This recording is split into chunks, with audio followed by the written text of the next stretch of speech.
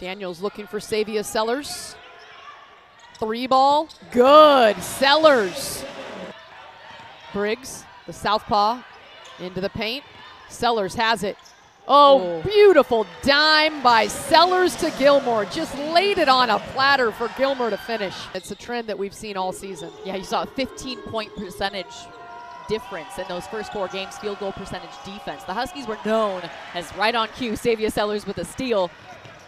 The Huskies were known for that field goal percentage defense last year. A beautiful finish by the sophomore. Open top of the key, one dribble pull up, too strong. Still time. Sellers in the lane rolls it in. Great recognition of the shot clock. Got inside the key and kicked out from there. Sayvia Sellers five points, but Dalayah Daniels led the way. I think the difference maker is they have nine second chance points. It is Nyan Thornton with the bucket. Yeah, Sayvia Sellers gambled on the pass there, trying to get in the lane, and she was able to beat her. Great up pass from Sellers to Stines, who was ready. Down low, Eke reads the lane, takes it away. Sellers on the move. Will push all the way to the rim and good for Sellers. Clock is off right now.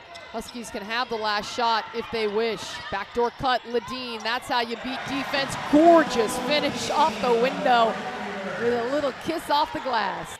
Getting in lanes, playing just as hard as she has really the whole game.